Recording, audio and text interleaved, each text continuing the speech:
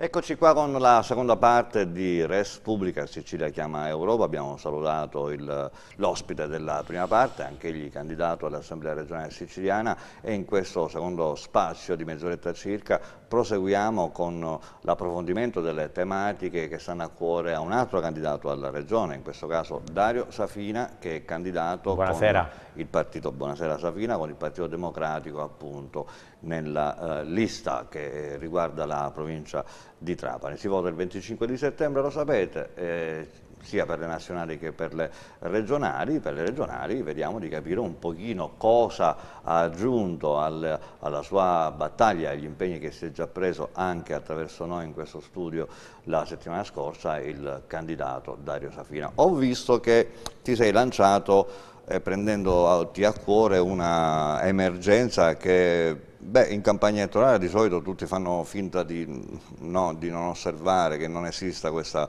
uh, questa, problematica, invece tu proprio coraggiosamente l'hai affrontata. Parlo della questione legata agli obiettori di coscienza negli ospedali, no? Ma sì, perché io penso che la campagna elettorale eh, eh, non serva per nascondersi, ma serva proprio per comunicare ai cittadini cosa noi pensiamo della pubblica amministrazione, cosa noi pensiamo dei diritti, dei doveri che i cittadini devono rispettare, delle eh, impostazioni sociali, economiche, culturali che vogliamo mettere in campo. E dunque noi mh, in questo Paese abbiamo una legge, una legge che è stata, diciamo, che ha superato il vaglio anche di un referendum abrogativo, che è la 194 sull'interruzione volontaria della gravidanza.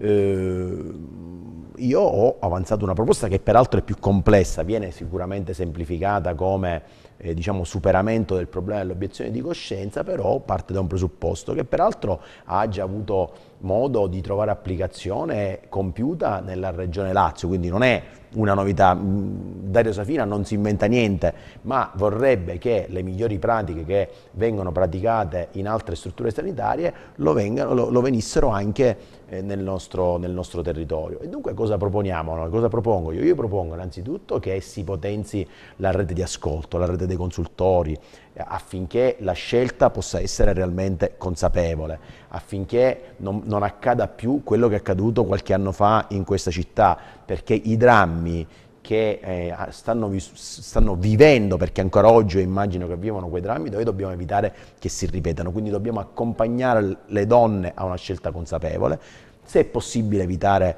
eh, la pratica dell'interruzione della gravidanza che ben venga, ma deve essere una scelta appunto fatta dopo, eh, con il sostegno della famiglia ma anche delle strutture pubbliche. Dopodiché, nell'ipotesi in cui la coppia, la donna, decidesse di, eh, eh di praticare l'interruzione volontaria della gravidanza, è chiaro che noi dobbiamo superare il problema eh, degli obiettori di coscienza. Le strutture pubbliche che garantiscono, che devono garantire ampi margini diciamo, di qualità, devono essere dotate di personale medico e non solo, eh, che eh, si renda realmente disponibile alla pratica, perché noi abbiamo un dovere fondamentale, che è quello di tutelare la salute delle donne. E chi meglio di una struttura pubblica può tutelare la salute delle donne che decidono volontariamente di addivenire all'interruzione volontaria della gravidanza?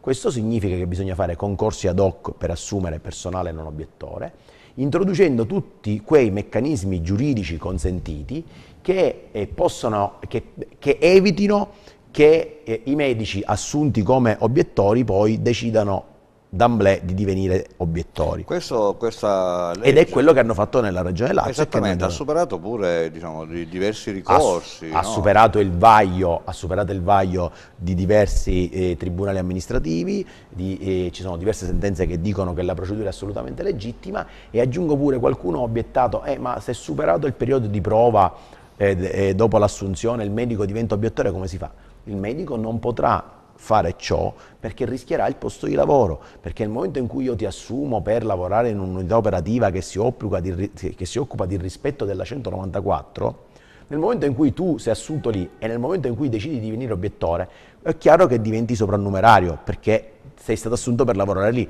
sei soprannumerario non puoi più ovviamente certo. lavorare e quindi le, il, i tecnicismi giuridici per evitare che la norma venga girata ci sono tutti, li stanno praticando, ma ciò che conta non sono i tecnicismi giuridici, ma è il diritto delle donne a veder tutelare la loro salute e a fare una libera scelta consapevole. Questo è quello che mi preme ed è un impegno preciso. Qualcuno dice ma perché lo prendi? Ah, potrebbe essere strumentalizzazione. Io non ho mai visto chi strumentalizza un argomento così difficile in campagna elettorale. Generalmente si strumentalizzano gli argomenti che, che, possono creare amplissimo consenso. Io penso che questa sia una proposta di civiltà e noi con le proposte di civiltà vogliamo creare consenso. Dunque i, i, dobbiamo avere il coraggio delle nostre idee e affrontare anche temi difficili. La differenza tra la politica con la P maiuscola e la politica con la P minuscola sta tutta lì, nella capacità, nella voglia di confrontarsi su tutto, non bypassare problemi difficili e poi si vedrà quando oh, sarò eletto. Io prima ancora di essere eletto voglio dire eh, alle, eh, alle, persone, in questo caso alle donne, alle famiglie,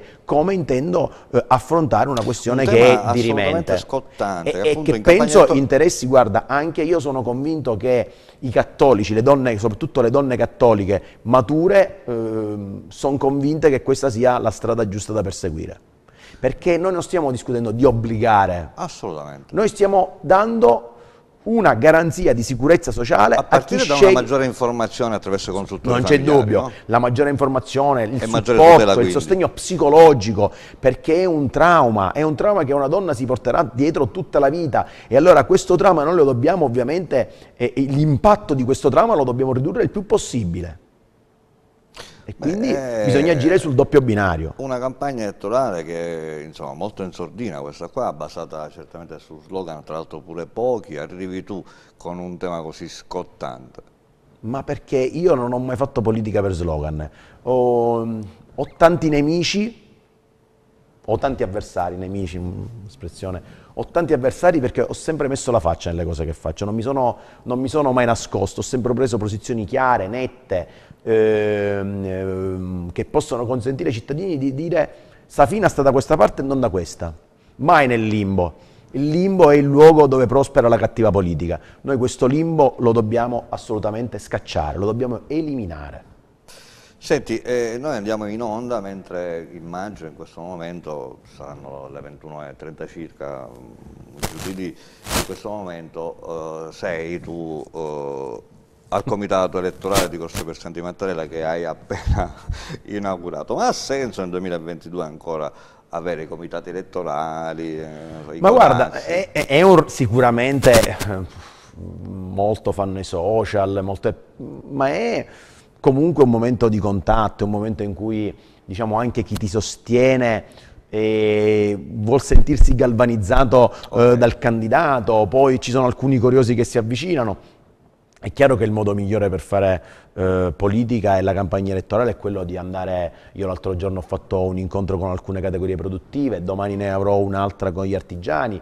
E, mh, ho incontrato le categorie dei commercianti, ho incontrato alcune imprese, ho incontrato alcuni lavoratori di alcune imprese che vivono un particolare disagio, dunque il modo migliore è sempre quello di andare casa per casa, eh, azienda per azienda e, e, e, dunque luogo di lavoro per luogo di lavoro perché il contatto, il, il poter vedere quello um, che accade, il potersi confrontare con le persone direttamente è il modo migliore per, per poter comprendere i problemi. Io ieri per esempio ho parlato con un'associazione ambientalista ehm, con la quale mi sono confrontato sui temi relativi alla gestione delle riserve e al Parco Nazionale e alla proposta di istituzione del Parco Nazionale della costa delle isole Egadi Egadi e della costa trapanese, che è un tema che è molto importante perché potrebbe essere grande fattore di sviluppo per il nostro territorio. E, e mi confronterò ancora con altri, vorrei confrontarmi eh, col WWF eh, perché noi abbiamo un grande problema, che è quello, grande, secondo me abbiamo una grande opportunità, che è quello di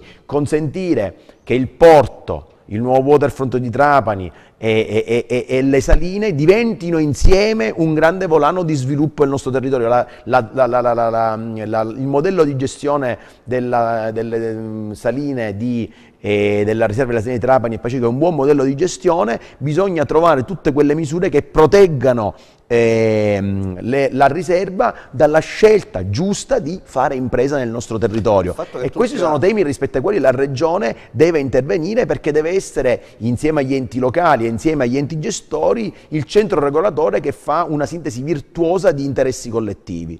Il fatto che tu sia un avvocato specializzato nel, nella tematica insomma, del, del, lavoro, no? se non ricordo male, sì. è un vantaggio, è un'aggiunta? Ma, ma, guarda, è, rispetto ad altri che magari fanno altre io, professioni. Io non, io non, penso che i politici debbano essere avvocati, ingegneri o debbano essere politici e tecnici in sé. Io penso che la politica sia frutto diciamo, di una maturazione culturale, di una sensibilità sociale, culturale, di una visione economica, di un, di, di, di un modello economico. Però è chiaro che il mio essere stato, eh, diciamo, eh, vicino ai lavoratori, vicino alle imprese, eh, mi ha fatto maturare alcune sensibilità, mi ha reso più maturo in quelle che erano le mie eh, eh concezioni di base di un modello di sviluppo economico. Io ho, ho per esempio potuto percepire come, diciamo, oh, oh, noi riteniamo che per molto tempo chi ha la mia storia ha ritenuto che i deboli fossero solamente lavoratori dipendenti. Invece bisogna prendere atto, e oggi ancora di più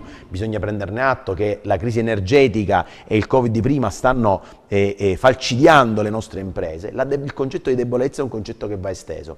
Ci sono artigiani, commercianti, piccoli imprenditori che sono più deboli di tante categorie di dipendenti, non solo pubblici ma anche private. Faccio un esempio, il dipendente probabilmente di una grande azienda, eh, quella Fiat, oggi è più tutelato di un piccolo artigiano della città di Trapani. Vero, è vero. E dunque bisogna che si metta in campo un sistema di protezione sociale, un sistema di protezione del nostro modello di sviluppo che è basato sulla piccola e media impresa, che può creare tanto lavoro e che può creare tanto progresso. Mi fai un esempio concreto appunto di normative, di Ma guarda, ti, fa, ti, faccio l'esempio, oggi noi dobbiamo per esempio lavorare molto fortemente sul credito d'imposta a favore delle imprese che stanno subendo. Guarda, io ho un amico ha, mh, a cui rivolgo un saluto perché peraltro eh, in questi giorni il fondatore dell'azienda è, è, deceduto e quindi di un'azienda che rappresenta un'eccellenza nel nostro territorio e a lui rivolgo mh, il saluto per quello che hanno creato anche nella, nella, nella vicina Alcamo e un'azienda che prima spendeva 150 euro al giorno, 170 euro al giorno per accendere il forno, un forno a quattro linee adesso ne dovrebbe spendere 700 per ogni forno, 2800 euro. Allora o noi subito interveniamo con una manovra pesante, massiccia, a sostegno delle imprese che eh, eh, hanno, che sono soprattutto grandi eh, eh, imprese energivore, oppure noi tramite il credito d'imposta, tramite finanziamenti diretti, eh, oppure noi eh, rischieremo di buttare giù via il bambino con l'acqua sporca, rischieremo di non avere più dipendenti, rischieremo di non avere più imprese nel nostro territorio. Siamo Quindi il credito d'imposta comunque... è fondamentale, ma anche finanziamenti immediati, però lì è fondamentale la riforma della pubblica amministrazione, perché non è pensabile che io faccio la pratica oggi e il finanziamento come è accaduto per esempio per il PSR nell'agricoltura, nell'artigianato, i fondi a favore dell'artigianato, lo faccio oggi la domanda anche per il commercio e il, e il finanziamento partirà dopo quattro anni. Dopo quattro anni l'impresa, quell'investimento l'ha bello che ha fatto e ha, se ha affrontato un problema di liquidità l'ha probabilmente speriamo superato e se non l'ha superato ha già chiuso. Allora una riforma, noi dobbiamo lavorare su una riforma quindi della pubblica amministrazione che non si basi sui controlli preventivi, ma si basi sui controlli post, successivi, perché noi dobbiamo dare fiducia ai nostri cittadini, non possiamo pensare, sì, c'è stato il malaffare, c'è stato chi eh, si, è, eh, si, è, agevolato illegittimamente di questi contributi, di questi finanziamenti, però noi abbiamo bisogno di passare a un sistema di controlli successivo che sia serio, che punisca i malfattori, perché devono essere puniti i malfattori e devono essere estromessi dal mercato perché fanno concorrenza sleale ai loro eh, competitor, però dobbiamo avere fiducia nell'impresa e nelle famiglie ti siciliane. Posso, posso fare una provocazione? Sì. Certo. Sei passato dal dire una cosa di sinistra sulla, sugli obiettori di coscienza a una cosa appena liberale. Ma guarda, ma io penso che la, uh, uno dei, um, diciamo... Non ho detto di destra. No, no, no, ma io penso che una delle più profonde innovazioni Ehm, diciamo, eh, di chi ha la mia storia è proprio questa. Noi eh, ci rendiamo conto come eh, il, lo sviluppo passa dal sostegno all'impresa, ma passa ovviamente dalla qualità del lavoro, dal rispetto ai diritti dei lavoratori, perché se non c'è se c'è sviluppo, crescita anzi, se c'è solo crescita senza tutela dei diritti degli imprenditori, senza tutela dei diritti delle donne, senza tutela dei diritti dei giovani, non c'è progresso. La, noi IVA, aspiriamo noi siamo, al progresso, non aspiriamo alla crescita. Siamo un popolo di partite IVA, sempre di più. Ma guarda, mh, mm, siamo un po' per partita IVA sicuramente, di piccole, di, di piccola, e media impresa, però siamo un popolo che può attraverso la piccola e media impresa, attraverso i servizi, tornare a essere un popolo dove il lavoro oh, diciamo, dipendente svolge un ruolo fondamentale. Perché è chiaro, noi non dobbiamo immaginare le industrie pesanti del nostro territorio, ma possiamo pensare a imprese che svolgono servizi. Il turismo del resto, noi vogliamo che il turismo si sviluppi nel nostro territorio, territorio. Abbiamo bisogno che a fianco agli operatori turistici ci siano le imprese di servizi che favoriscono certo. lo sviluppo di, quelle, di quel settore. E, e, parlo di servizi sponsoriati a partire dalla pubblicità, a partire dalla promozione, a partire da, da, da, dai servizi di pulizia, dai servizi di, di, di catering, di, tutti i service che noi conosciamo. Sono servizi che si possono sviluppare e che possono dare tanto lavoro a, a, a, ai cittadini in, trapanesi e non solo. regionale siciliana, qualora diventassi deputato, e in quale commissione ti piacerebbe essere inserito? Ma, quantomeno quale chiederai? Ma guarda, eh, penso che eh, mi piacerebbe stare nella commissione affari istituzionali, perché immagino pure che, proprio per quello che dicevo prima, che eh, diciamo, la riforma delle istituzioni regionali è fondamentale, immagino pure che eh, la completa attuazione e eh, pratica attuazione dello, dello, statuto sia un elemento sul quale bisogna riflettere. E, immagino pure che da quella commissione passeranno tante riforme importanti e, e, e mi piacerebbe poter essere protagonista eh, già in commissione, fermo restando che poi tutti i deputati certo. lo devono essere in aula, ma già in quella commissione mi piacerebbe starci, devo dire la verità. Invece come, si, come si diventa il paladino, il difensore di un'intera provincia. Ma si diventa pala paladino, poi io non penso il che... Difensore, la, il tutore, il tutore, facciamo così. Avendo chiaro che non ci sono comuni in competizione tra loro, ma che c'è un territorio che deve crescere insieme.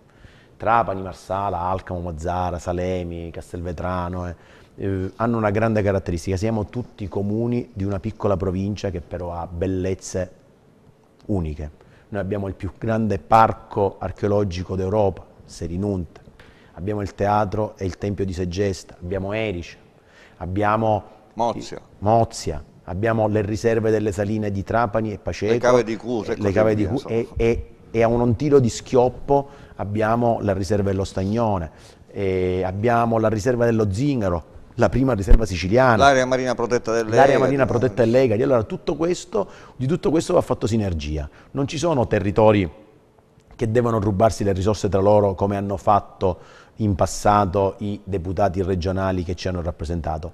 Noi per esempio, lo dico sempre, l'ho detto a Marsala, l'ho detto forse già una volta qui, abbiamo l'esigenza che il porto di Marsala si sviluppi. È fondamentale sì. perché il porto di Marsala potrebbe essere il porto del diportismo uh, della provincia di Trapani, perché Trapani il porto di Trapani sta assumendo un'altra vocazione, che è quella croceristica, che è quella della pesca, che manterrà, che è quella ovviamente del, tra- del trasporto delle merci, probabilmente non avremo spazio per un ulteriore incremento dell'attività del diportismo, che già è abbastanza radicato. E allora il porto di Marsala può divenire una grande risorsa per questa provincia, perché tanti siciliani non solo possono decidere di lasciare le loro barche qui e possono giovarsi del, della vicinanza delle isole a 6 miglia, a 8 miglia, a, a, a 10 miglia, 11 miglia marettimo e dunque questo che è il centro del Mediterraneo può consentire di far divenire eh, ehm, eh, Marsala e Trapani l'hub del diportismo, eh, del diportismo eh, siciliano. E, aggiungo, e non è però con i cambi di nome che si fa, quelli sono con cose da campagna elettorale che può pensare il presidente Ombra perché magari deve sostenere qualche candidato marsalese. Dico Trapani Marsala, Marsala eh, all'area al cambio di denominazione è, dico, è, è qualcosa che per me l'aeroporto è importante se si chiama aeroporto di Marsala, se si chiama aeroporto di Trapani, se si chiama aeroporto di Paceco, se si chiama è aeroporto importante. di Misiliscemi, è importante e basta. Queste piccole, queste piccole operazioni da politica con la P minuscola, come dicevo poc'anzi, penso che lasciano il tempo che trovino e, e, e servono solo per alimentare qualche polemica eh, sui, sui social. Io sono per l'aeroporto, non sono per l'aeroporto di Trapani, sono affinché l'aeroporto Florio, perché si chiama aeroporto Vincenzo Florio, perché l'aeroporto Vincenzo Florio possa trovare un grande accordo con l'aeroporto Falcone Borsellino Palermo e insieme divenire l'hub, i due aeroporti, gli hub della, del, eh, turistico, turistico e infrastrutturali fondamentali per la Sicilia occidentale. Quindi ti sei appena preso un altro impegno, cioè quello di lavorare affinché questa sinergia Certamente. concreta, ufficiale... Noi non dobbiamo chiedere che l'aeroporto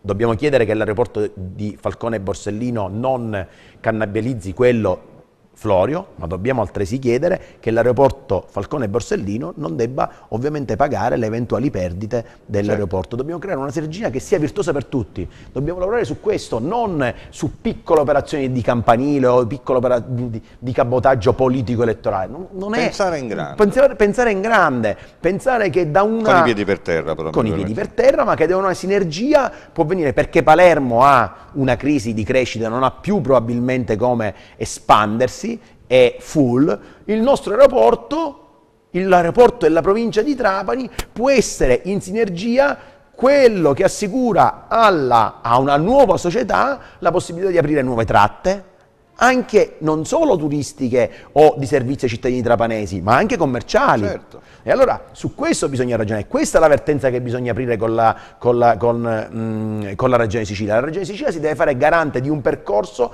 che consenta alle infrastrutture aeroportuali della nostra eh, provincia e della, della nostra regione, della Sicilia occidentale, di vivere insieme, di svilupparsi insieme. Del resto è quello che sta avvenendo con l'autorità di sistema portuale. L'autorità di sistema portuale, collaborando con le amministrazioni locali, con Trapani l'ha fatto benissimo, sta lavorando affinché i porti di Trapani, Termini Merese, e adesso anche Gela, Palermo si sviluppino insieme. E ci, e ci sono riusciti. E ci, stiamo, stanno, ci, ci, ci stanno riuscendo. Allora le buone pratiche esistono, bisogna avere solo il coraggio di comprendere che le infrastrutture eh, non servono per fare operazioni elettorali, ma servono per Dobbiamo creare trovare un Pasqualino Monti, un altro da mettere un po' dappertutto in modo che le cose funzionino. Ma bisogna trovare bisogna trovare manager sicuramente eh, che hanno una visione, ma, ma, che devono essere sostenuti dalla politica non solo locale ma anche locale affinché si possa realmente eh, eh, progredire nel senso appena invocato. Favorire un percorso del genere. Dario Safina, padre, eh, marito, politico, sportivo,